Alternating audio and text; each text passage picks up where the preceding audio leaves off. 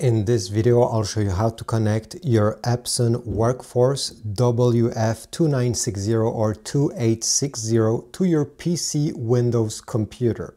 And I'll also show you how to print and also how to scan your documents using the Wi-Fi. So let's get started. So on your control panel, there's two ways that this can be done. First of all, on top here you can see there's a smartphone with a Wi-Fi symbol and right on the left there is a router with a Wi-Fi symbol. You can go ahead and click on this icon and this panel will appear. If you're unable to click on that icon since the screen is quite small, you can actually go at the same place through the menus. So go into settings, general settings, network settings, Wi-Fi setup, and we're on the same screen as we were before. So once you're here, you need to click on the first option over here, Wi-Fi recommended. Then select Start Setup, Wi-Fi Setup Wizard. Now the printer will scan for every single uh, Wi-Fi network around it and it will give you this list. You just have to scroll through it until you see your Wi-Fi network appearing. Then you click on it and you have to enter the password. So over here, click on enter under enter password and you have to type it using this keyboard. Once you're done, make sure that you type the right password since the screen is quite small and hard to type. Once you're done, press the OK button. Select Start Setup Wait a few seconds. If your Wi-Fi router is far away, it may take a few minutes.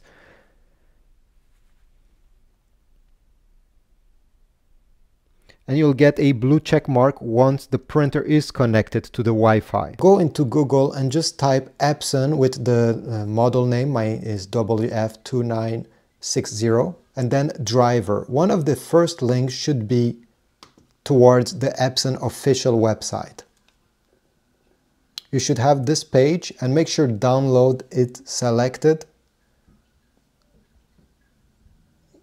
Select your operating system. So over here it's a Windows 10 computer. So I'll select Windows 10, 64 bits because this is what my computer is. Press the go button. It will refresh the page. Now go down and you should get this one, Drivers and Utilities Combo Package Installer. Click on the download button, download it, and then launch this uh, installer. Okay, so mine is here, I'll double click on it. Press yes. Press OK. Press accept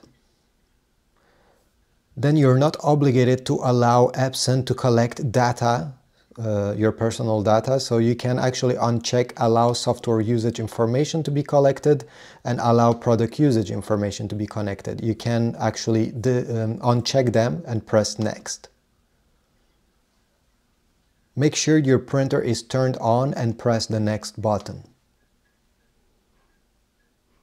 Then you should select your printer from this list, press next.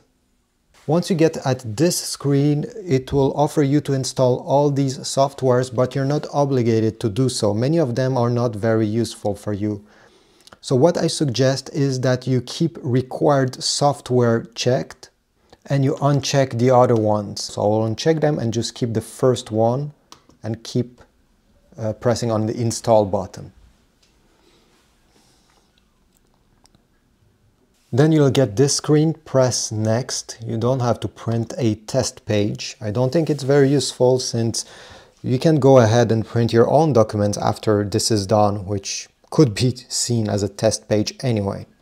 So again, you'll have to wait a bit till this is loading on. Then press next. This will open. It's just Epson trying to make you register your printer, but you don't have to do this. You can go ahead and quit if you don't want to register your printer with them. And once you install the driver, the best thing is always to restart your computer.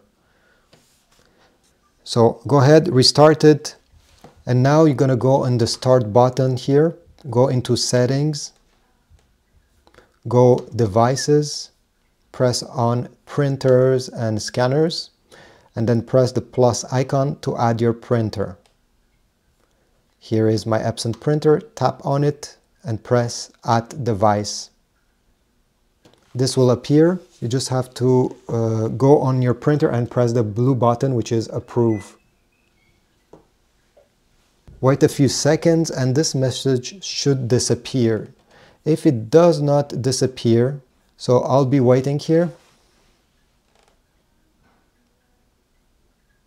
Open a document you want to print. Press the print icon. Make sure your printer is selected on the top and once all these settings are okay with you, press the print button. Don't forget to extend this small plastic flap. And here is the result. Now let me show you how to use the scanner to transfer files using the Wi-Fi. So open the top scanner here, take your document, place it facing down with the top part on the right side.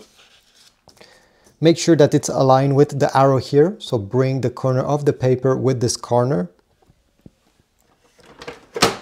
close down the lid. And now over here, we're gonna go in the start menu, select the settings, then devices, then printers and scanners.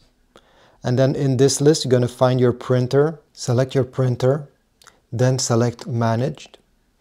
Over here on the drop down menu, select scanner select Open Scanner. If you do not have the Open Scanner button, you'll have a button to download the app. So I'll press Open Scanner. This will open. Make sure your printer is selected on the top. Then you can select the file type where this can be saved and press the scan button to finish and scan the document.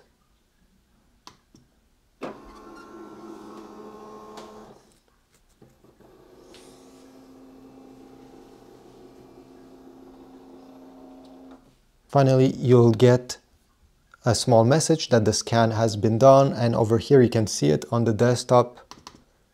If I double click on it, it will open up whatever I just scanned. So this is it. I hope this was useful. This is how you connect your Epson Workforce WF2960 to your PC computer. Leave a like, subscribe, and I'll see you in the next video.